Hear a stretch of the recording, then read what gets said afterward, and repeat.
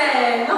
どんどん。怖いよ怖いねどんどん。怒った顔どんどん。変な顔どんどん。どんどん。上手ありがとう。じゃあみんな今のどんどん顔でいろんな顔を見せてください。じゃあみんな2回目きつねダンス練習しようかな。いくよじゃあ。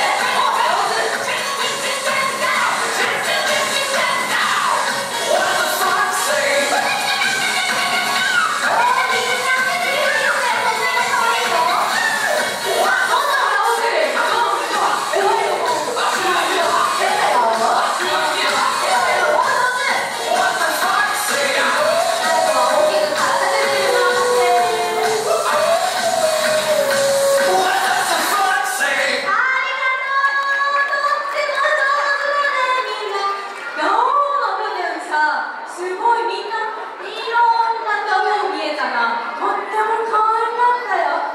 じゃあこの後でお家の人に発表会しようかねみんなしよう。じゃあさ合間にキツネポーズいっぱい出てくると思うんだけどじゃあ例えば大きなキツネって言ったら？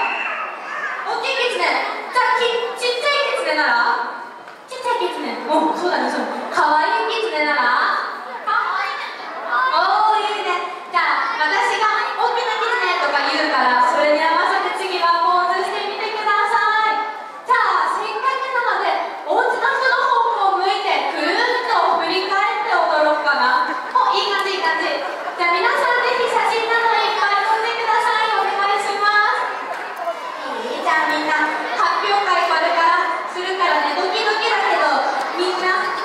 今の感じでバッチリだから一生懸命